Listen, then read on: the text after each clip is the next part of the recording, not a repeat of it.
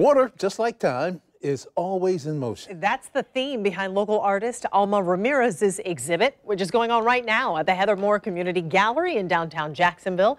The By the Water pieces will be displayed there for one more week until October 25th.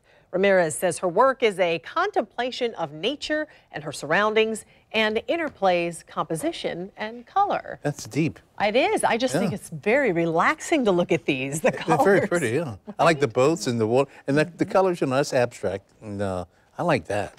That's nice. And if you like it, that means something. You Yeah. should see his place. My goodness, he Actually, is. Boats, I love Rob boats. does a nice job Doesn't he? in decorating. You'd Right? be surprised. I know. Wow. Thanks for joining us.